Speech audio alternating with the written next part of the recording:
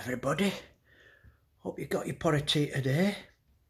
What has Phil got for you in Phil's Corner today? Well, I'm going to do a book review. It's to do with Wicca today. This book on Wicca. I'll be giving a quick review on that. And we're going to have some witches cards from this deck. It's the Green Witch Tarot by Ann Moura, if I said that right. So we're going to pull five cards from that deck. And the book about Wicca, it's a nature-based religion. It's not satanic or evil. Uh, that's a Christian view of that. Uh, they don't believe in the devil uh, in Wicca. They believe that uh, evil is created by man's own doing although they do believe that there is bad uh, in the world, but a lot of it is created by who's not some outside entity or some with horns and a tail, the devil. Uh, yeah, it's a based religion. Uh, most of the spells they do is for healing, protection, and love. Uh, they don't do anything evil or all like that, or three o'clock in the morning dancing round a fire, uh, conjuring up spells to put on people. It's a lovely uh, religion. And this book, what I'm re reading, is the Wicca Bible. And it's by Ann-Marie Gallagher, if I said that right. This is the back of it and I'm just going to read a little bit from uh, inside this book. We'll just see what it says. It says Wicca is a religion and practice of witches, or another name, the wise, as we are sometimes known. It has been described as the fasting growing religion in the West through Nobody really knows how many, but judging by the internet and groups cropping up all over, it's a fast growing religion and it's getting quite popular. People always wanting to have an alternate uh, religion, uh, that's the religion fire based uh, nature religion.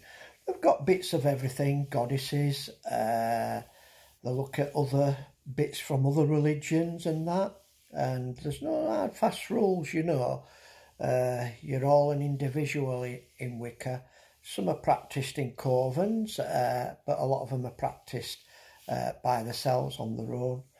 Right, so we'll get on with some cards from this deck. And that's the back of the cards. It's a pentagram, five star. And our first card today. And it's a young witch by a campfire. And what she's doing is a protection spell.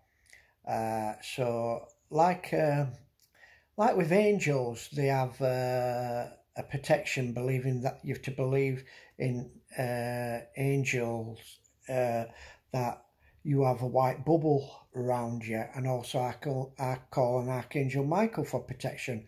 But in Wicca, the witches, they also do spells for full protection, and that's what this young girl's doing there. She's having protection, and also sending protection out for all of us, you know, uh, against any negative uh, energy towards towards us. Our second card. Now this is a bit of a warning card.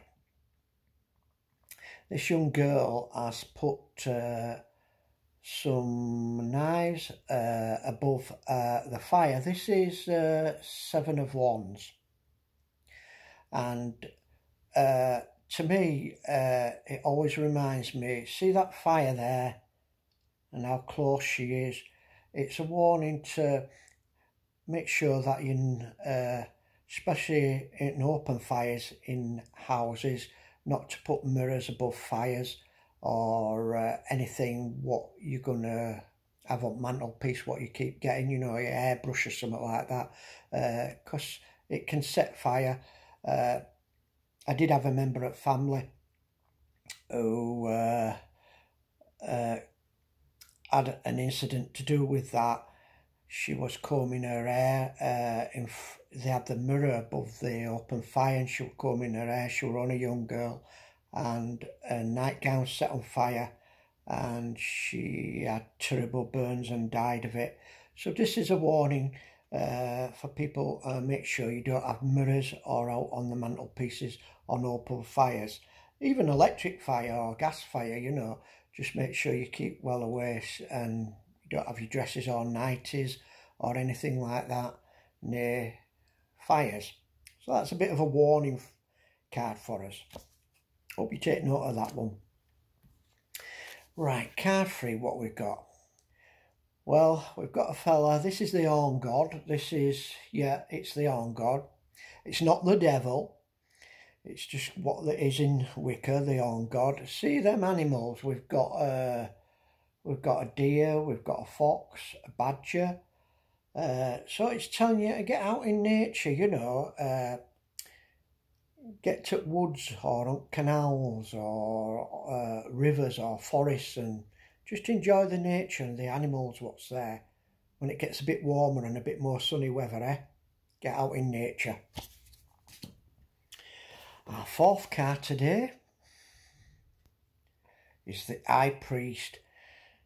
Now the High Priest there is doing a spell. I see that light there shining down? shining down on us. Uh, and is a very powerful priest. And what he's doing is sending love and healing to us, all of us. So if you're needing any healing health-wise, or you're wanting some help with your relationship to improve, the High Priestess is sending that out, that uh, energy to improve your health and relationship. And our final card today, we've got an oldish fellow there working. This is the Eight of Pentacles. He's working on that pentacle and see all them at, at back. So he's uh, it's really uh, doing well at the business.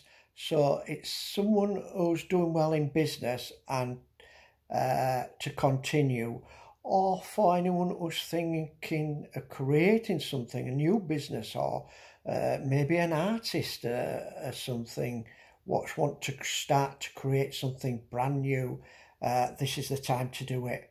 So be creative uh, the next few months. Right, I'm going to shoot off. Thank you for watching. Hope you've enjoyed this video and I'll catch you on the next one.